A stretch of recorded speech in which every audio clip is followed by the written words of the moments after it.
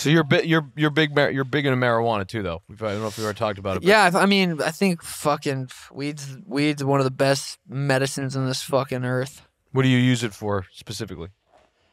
Um, I think I use it specifically for I use Get it stoned, right? yeah to get stoned. Mainly, I use it at night.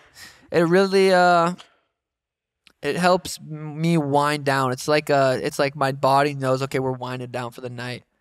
Smoke. I do. I have a hot tub and cold plunge at home that I do pretty religiously. Like in camp, I hot tub, cold plunge every night. Um, about three weeks out, I, I quit smoking because the fucking munchies, dude. The munchies will get you, and you got to diet. I got to diet in. I got to I fucking. feel like you're a big hot Cheeto guy. No, dude, I don't eat don't like hot that? Cheeto. I don't eat shit like that. I eat pretty clean. I eat clean, quality, organic, and food that's you know whole foods for the most part. I mean, right now I'm fucking definitely eating a little bit not as good, but I'm, I'm for the most part I'm eating pretty You clean. smoked with Snoop. Smoked with Snoop, dude. That was the craziest. Cause that was the night I got into the UFC. That was the night I got signed by the UFC. You remember that? Do you did you see the knockout where he went crazy? Yeah. One of the sweetest knockouts. Fucking just got signed to the UFC, so I'm high as fuck off just life in general.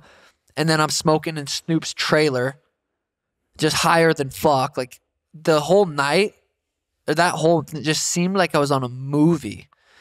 It was Yeah, so being high with, such a like, trip. dude. Celebrities is like when Snoop you're high too. with, yeah, even, someone like, that, you literally feel like you're in a movie. You're like, what the fuck's going on? Like, Yeah, dude. And like I walked out the trailer and there's like people like taking pictures and shit, and I was like floating, dude. I felt like I was Yeah. floating. Oh, that was a trip. How long was the smoke session with Snoop?